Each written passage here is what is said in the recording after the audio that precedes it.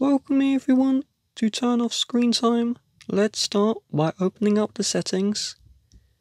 And from here, I want you to scroll all the way down until you see screen time. On the older software, at the bottom of the screen, there should be this option which says turn off. On the newer software, this is how screen time looks like when it is turned off and if you tap on app and website activity and you turn this one on, then you see the screen time view here and you have all of these features.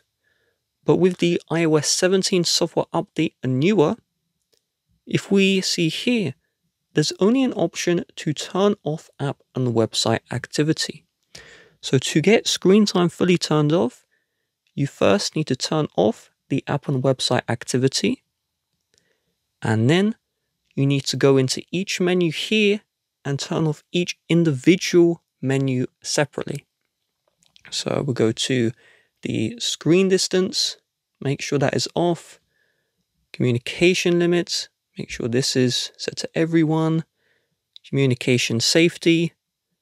Uh, so if I go into here, make sure that one is off, content and privacy restrictions, make sure that one is off, and if you have set a passcode for your screen time settings, then if we go out of here, then you can see you have to tap into change screen time passcode and then turn off the screen time passcode. So Apple have made this so you have to turn off each option individually. On the older software, when you turn off screen time, all of this turns off at once. With that being said, if you would like to help support the channel, please do check the description. Bye bye.